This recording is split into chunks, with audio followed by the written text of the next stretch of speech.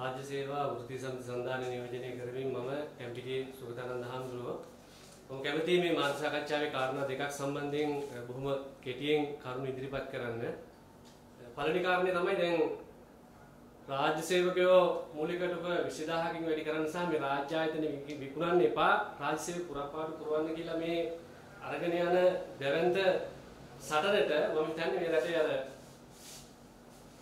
අනුප්‍රාප්තික ජනාධිපතිවරයාගේ යම් උත්තර ප්‍රමාණයක් දුන්නා. ඒ නිසා අපි මාධ්‍ය ආයතන වලට මාධ්‍ය විදිහට ඉල්ලා සිටිනවා ඒ රනිල් වික්‍රමසිංහගේ ඒ ප්‍රතිචාරයට අපි දක්වන ප්‍රතිචාරයත් යම් විදිහකට මේ රටේ ජනතාවට ඉදිරිපත් කරන්න කියලා. ඒකට හේතුව තමයි ඔහු මේ ඉදිරිපත් කරන තර්ක බොහොම පුහු ඒවා. ඒ නිසා අපි කැමති මෙන්න මේකට උත්තරයක් දෙන්න. ඒක තමයි ඊයේ දවසේදී ඔහු ඔහුගේ කතාවේ සාරාංශය ඔහු කිව්ව කාරණා වලින් කීපයක් ගත්තොත් එකක් තමයි මේ මුදල් හරියට පාලනය කරන්න ඕන. මේ කියන්නේ යහපාලන ආණ්ඩුවපත් වෙලා අර්ජුන් මහේන්ද්‍රන්ව සිංගප්පූරුවේ ඉඳලා මෙහෙට එක්කන් ඇවිල්ලා දිත්ත ප්‍රවේශ භාවයේ තියෙද්දි මහ බැංකුව බාර දීලා ඒක කොල්ලකාප මිනිහා තමයි මේ කියන්නේ මුදල් හරියට පාලනය කරන්න ඕනේ. ඒ හින්දා වැටුප් වැඩි කරන්න බෑ කියලා. අනිත් පැත්තෙන් වැඩිපුර මුදල් නැහැ කියලා. අපි අහන්නේ දැන් පහුගිය කාලේ පුරාට අපි අහනවා දැන් විදුලි බල මණ්ඩලයේ ගිය අවුරුද්දේ ලාභය බිලියන 61යි. පහුගිය මාස අතරේ ලාභය බිලියන 66යි. අපි මේ දත්ත සම්බන්ධයෙන් ඕන තරම් කරුණු ඉදිරිපත් කරලා තියෙනවා. ටෙලිකොම් එක ලාභ ලබනවා, රක්ෂණ සංස්ථාව ලාභ ලබනවා. මෙවැනි වටපිටාවක් තියෙනවා. ඒ එවැනි වටපිටාවක් ඇතුලේ මුදල් නැහැ කියලා කියන්නේ මුදල් නැති වෙලා තියෙන්නේ මේ රටේ මිනිස්සුන්ට දීලාද නැත්නම් මේ රටේ රාජ්‍ය හරි අධිරාජ්‍යංශය හරි වැඩ කරන මිනිස්සුන්ගේ වැටුප් පිටි කරලා. මේ නැහැ කියලා කියන්නේ පහුගිය අවුරුද්දේ බදු දහන විදිහට බිලියන 970ක් කපලා දැම්ම ඒ කපලා දැම්මේ තමන්ගේ යාළුවෝ.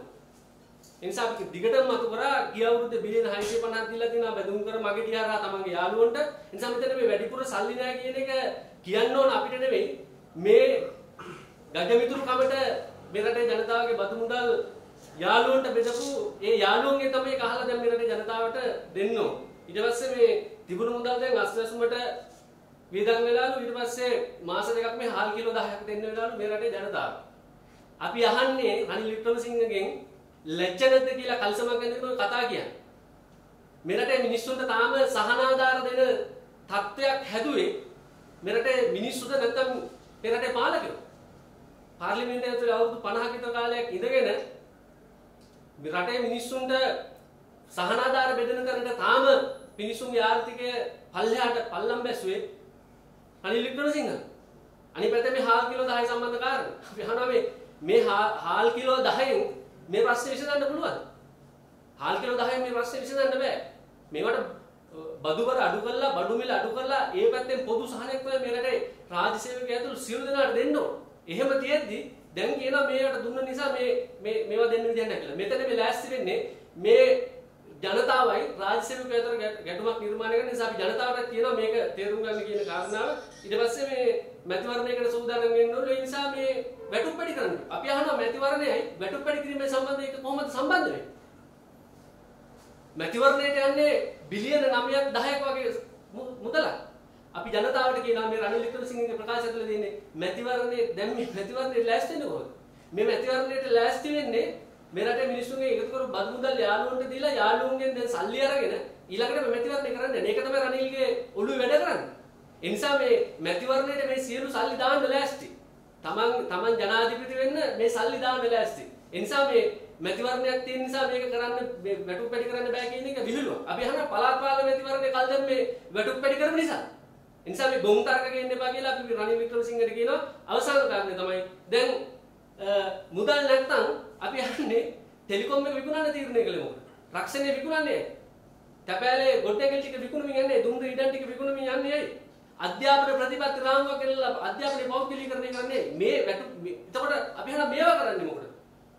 මේවා මේවා සම්බන්ධව වැටුප් එක්කලා නෑ මේ මේක තමයි ආණ්ඩුවේ තීරණය. ඒ නිසා මේක අපි පිළිගන්නේ නෑ. අපි ආණ්ඩුවට කියනවා ඒ නිසා වහාම මේ ප්‍රශ්න වලට උත්තර දෙන්න අවසන් වශයෙන් ජනතාවට මෙන්න මේ කාරණේ කියනවා. දැන් මේකෙද්දී අපි දන්නවා දැන් ජනතාවගෙන් දැන් මේ රෝහල් වැහෙනවා අනිත් ආයතන වැහෙනවා රාජ්‍ය සේවයේ දවස් දෙකක් වැහෙනවා ඒ නිසා මේ මේක මාර ප්‍රශ්නයක් වගේ සාකච්ඡා වගේ දාන්න උත්සාහ කරනවා අපි ජනතාවට කියන්නේ මේ දවස් දෙකකට මේ ආයතන වැහෙන්නේ හැමදාම මේව ඇරලා තියාගන්න ඕනේ. රනිල් වික්‍රමසිංහලා මේ ආණ්ඩුව ලෑස්තින්නේ මේව වහලා දාන්න. රාජ්‍ය පුරපාඩු පුරවන්න තු ප්‍රමාණිකුල මේව දිය කරලා දාන්න.